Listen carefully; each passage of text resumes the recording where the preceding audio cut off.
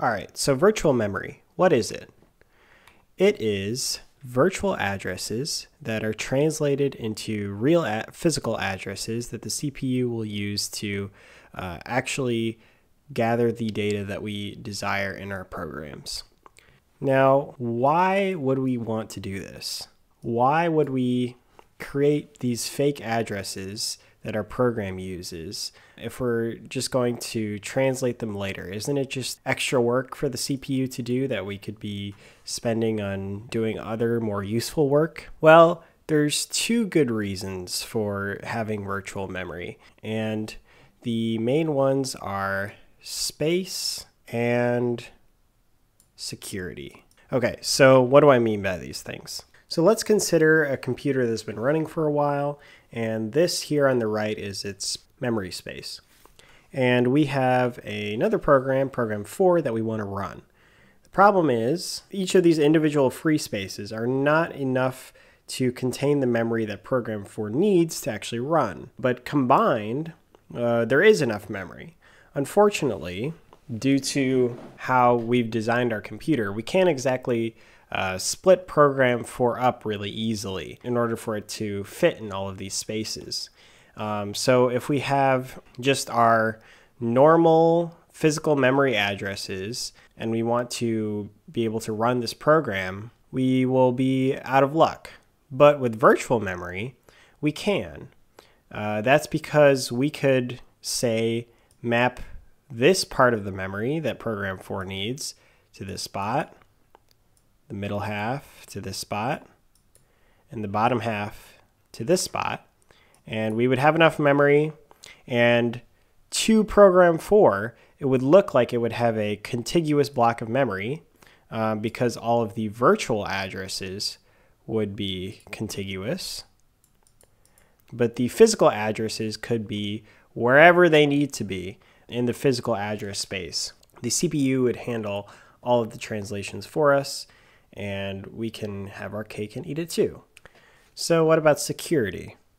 Um, how does that play into virtual memory? In this example here, as you can see, all the programs are in sequential order, and it would not be that difficult if we know program 2 and program 3 are here for program 1 to just reach in and grab or read or edit some data that it's not supposed to either accidentally or maliciously.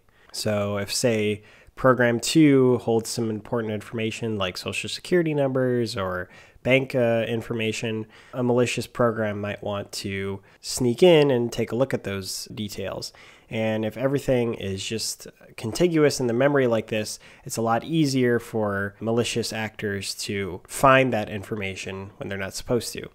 Whereas when everything is jumbled around in physical memory, it's a lot harder to just buffer overflow and then find some useful information. You're just going to find a lot of fragments of programs without a lot of useful data stuck in there.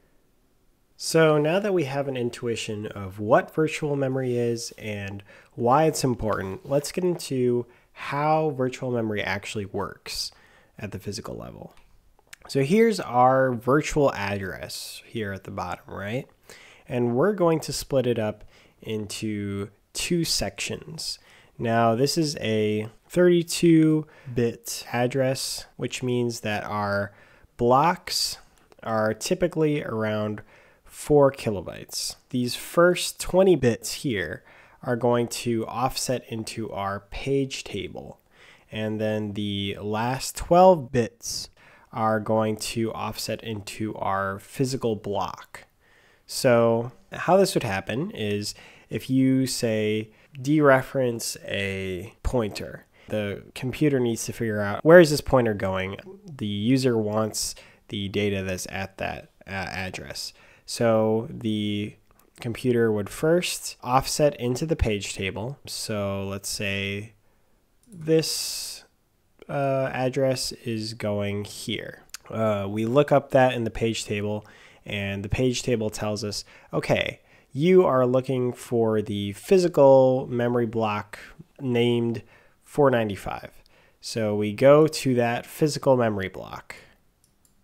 And then in the physical memory block, uh, we take our offset and we add that to the base address of the physical memory block, and then we get to our data. This is about the simplest virtual memory setup we can have. Just one page table, one layer of indirection. But let's think about if we have a 64 bit address. In that case, we could have a page table that's utterly massive. If we think about it, if we double the size of both of these, uh, this would be 40 bits, and this would be 24 bits. This is 2 to the 40. We need to store a page table that has 2 to the 40 entries, which is huge. That's about this many entries, um, which would fill up memory, it would fill up storage, uh, it would be way too big. So, to combat this, we need multi layer page tables. So, here's an example of a multi level page table. And this helps us get around the size constraints that we have with bigger memory addresses because we can have a smaller offset for the first page, uh, which makes it a reasonable size. And then each secondary or tertiary page doesn't necessarily have to exist. We can just create the ones that we actually need. And this cuts down on the amount of space that we need to fill up for these virtual page tables um, at the cost of a little bit more complexity. Um, but as you can see, it's the same similar concept. You take the first offset, you offset into the first page table, then we take the second offset, offset into the second page table, and then we get our base address to the uh, physical memory block, and then we offset into that with our third offset and get to the actual data that we want. That has been virtual memory. Thank you so much for joining.